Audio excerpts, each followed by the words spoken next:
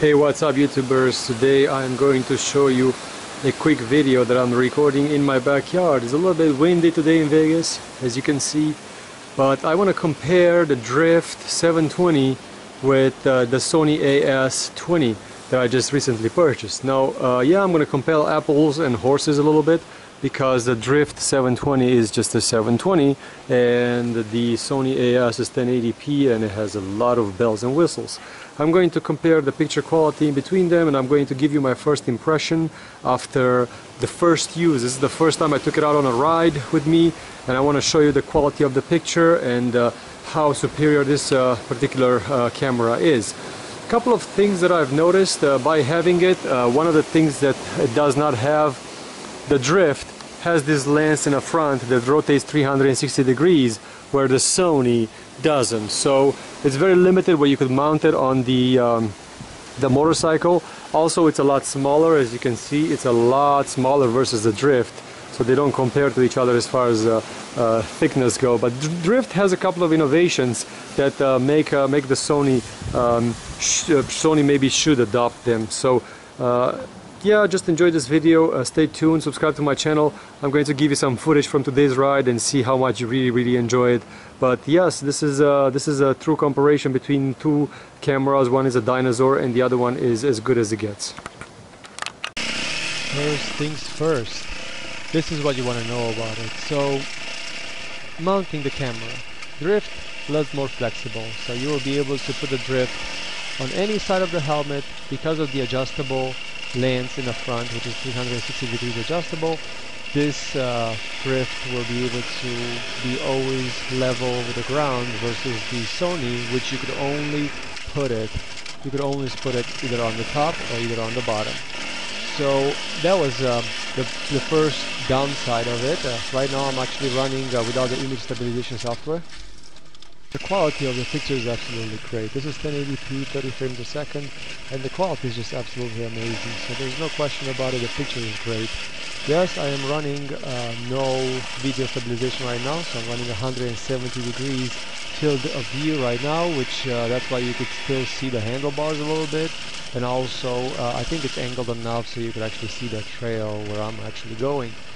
So that part of the camera it is absolutely good. I like it without stabilization. Um, it's uh, it, it, gives you a better understanding of how hoopy and how bad the things are. Uh, but it is mounted on top of my helmet, so it's definitely uh, not the best spot for it. It's a little bit too high, so you cannot see the handlebars very well, and you can't really, see the horizon as good. So if I lift it up a little bit, you can't really see the motorcycle. So definitely something that I'll have to work on. Uh, things that I absolutely love about is the fact that uh, even if the camera is off, if you push the record button in the back, it automatically turns on. It takes about maybe two seconds and then it starts recording automatically. So there is no question about it. It is a, a, a, huge improvement over Drift, which you have to push the power button, wait about 30 seconds, and then push the play, uh, start recording button to actually start recording. So uh, you're not going to miss uh, um, stupid you know footage uh, because the camera is dumb the drift is definitely um, doesn't have an upper hand on the Sony as far as that goes. So that part I absolutely love. Uh, the speaker built into the camera is not as loud as I would like it so I don't really hear uh, very very well when it's on and off but the button in the back doesn't really, fail so the truth is that uh, as soon as I push the button the uh, the camera starts recording or starts recording. So that's that's pretty, pretty good. If the engine of the motorcycle is off it actually sounds uh, pretty good uh, so you could actually uh, clearly hear it. The microphone on the camera, it is not that great, uh, especially when you move your hand around, it has a little bit of a whistling noise, so that's something that uh, definitely uh, an, an, internal microphone uh, will not be able to do very well. an external microphone is possible, but as Everride said and all the other guys that have it, it's hard to put one on and keep it in a casing that protects the lens, so you can't really have uh, best of both worlds. Um, it's a little bit harder to at that point, so it's definitely that will be something that you will just have to figure it out. I uh, please stay to subscribe to my channel. I will definitely work on this one. I'm going to try to find the best solution for the best position to get it mounted. Everride has a great idea to put in front of the helmet and I'm going to try to see if I could copy his idea and uh, maybe uh, make it a little bit better. But uh, so far this camera, uh, as far as the quality and the functionality, is absolutely great. I wish you will have um, a lens that turns around like the Drift does. Unfortunately, that's a design that is unique to Drift and um, Sony just never really figured it out. Uh, because of that, the uh, camera it uh, can only be mounted either uh, upside up or upside down. So um, those are a couple of downsides that this uh, particular camera has. Now picture quality, there is no question about it, this camera is great. I'm running 30 frames per second right now, but I actually can do 60 frames at uh, 1080p, so it's a great camera. I'm going to put a little bit of a footage that I shot uh, back in my, uh, my yard uh, with the two cameras sitting next to each other, and I'm going to actually show you exactly how good they really are, and you will be surprised to see how how how much better, how much of improvement uh, for my channel and for my video quality I'm going to see just by switching to this camera. Uh, for $120 on eBay with free shipping to your house, this is a great camera. I absolutely love it for, for that particular price. Uh, if it would have been a $300 camera, maybe I would have expected a little bit more, but for a $200 camera, the, the colors are good. Everything is, is really lovable about this uh, camera.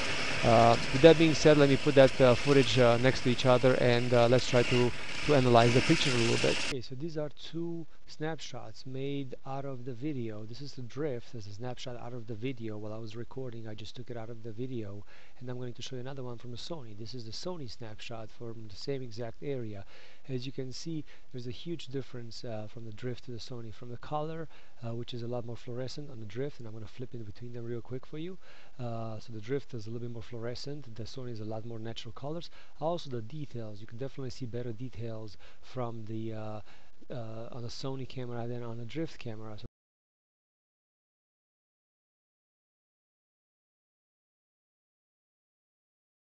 The case does have the tendency to accumulate dust inside, so you have to have some kind of a cloth. You can always clean in between the lens and the case protector. So that's something that definitely you will have to uh, keep handy. Um, but theoretically, if you don't have to change the batteries, you'll be able to just put the camera in uh, at home and then uh, for a couple of hours you'll be able to record. But yes, by the way, I've actually recorded about two hours on the battery today at 1080 uh, full resolution. Uh, I'm definitely going to buy another battery so here's the conclusion. Better camera, absolutely yes. Better quality, absolutely yes. Will you have to figure out where to mount it? Yes. It's going to be something that uh, that's a big con on it because it can only be mounted upside down or upside up and that's uh, a little bit annoying because you have very very little flexibility but uh, that's a very very low downside uh, compared to what uh, the camera can do for the money you spend for it. So if you are in the market for a Sony AS series and you are thinking about saving a dollar, uh, the Sony AS20 I think is going to do everything else that you need. I'm going to come back with some more uh, details as far as uh, how the camera performs and how, um, how I'm going to get use out of it. Um, this was the first video that I took. Uh, this is as raw as possible. I didn't even know the camera was pointing in the right direction. It turned out that the 170 degree field of view was great. I'm going to play a little bit of a video for you right now from uh, image stabilization uh, option to see how it compares to uh, no image stabilization. So let me get to that point real quick. Okay, this footage has been taken with the image uh, stabilization uh, option on where the field of view is reduced to 120 degrees and I can tell you one thing, I absolutely hate it. So yes, the picture is a lot smoother but uh, you could see so much less compared to what you were seeing before. I don't know if I want to lose those uh, 50 degrees angle on the camera because uh, you can't really see horizon very very well. You can't see your handlebars very very well. So the position of the camera definitely affects the, the field of view. Uh, the terrain looks like as smooth uh, as concrete and uh, it doesn't uh, you lost that uh, feel of how jumpy and how gnarly the things really are. I don't know if I uh, really want to record like this or I just want to record it with no stabilization and just to use the stabilization software in case the footage gets really really bad but absolutely it feels like I'm gliding right now and I'm riding in a wash with hoops and and all kinds of rocks and stuff like that. So uh, as you can see, the, the front wheels keep disappearing out of the pictures. The image stabilization software basically compensating for all that wobble that goes into my head. Um, to be very honest with you, I don't know if I really, really like it. I don't think it's going to be an option that I'm going to use. I uh, I will be uh, doing some more research as far as this one goes. So because of that, I want you to stay subscribed to my channel. Uh, I am going to definitely give you some more details later on. Uh, as I said, don't forget to subscribe. Stay uh, subscribed to Vegas RoManiac.